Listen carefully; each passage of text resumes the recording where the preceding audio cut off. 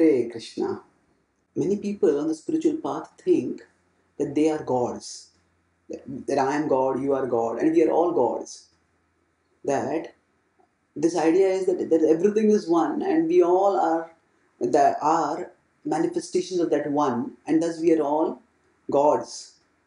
Now this idea is actually not what the Bhagavad Gita teaches.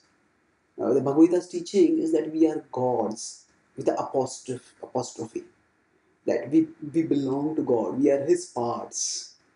And this is what uh, is declared as the state of awareness of those who are full of knowledge and free from illusion.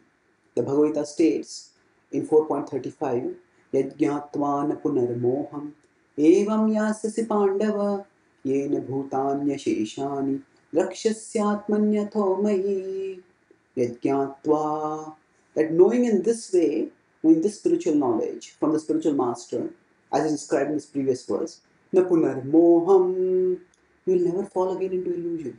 Evam yasasi pandava as you have come now, Arjun. Yena bhutanya sheshani. In this way, you will see all living beings.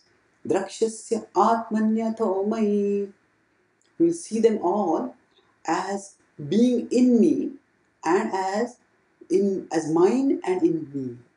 So Krishna doesn't say that you will see all living beings as me, as being in me and as mine. Drakshasya atmanya athomai. You will see them all spiritually as my parts.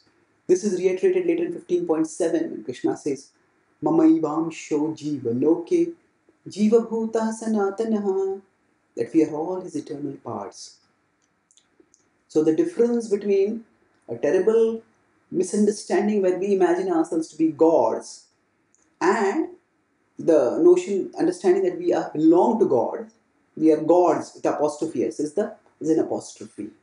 And that missed apostrophe can be a catastrophe because it can deprive us of a life of eternal love for Krishna and of a life of eternal joy in that relationship.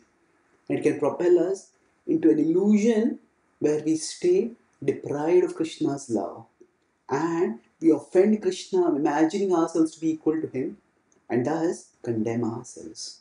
So, to avoid this uh, catastrophe, we need to put in that apostrophe in relating ourselves with Krishna. Thank you. Hare Krishna.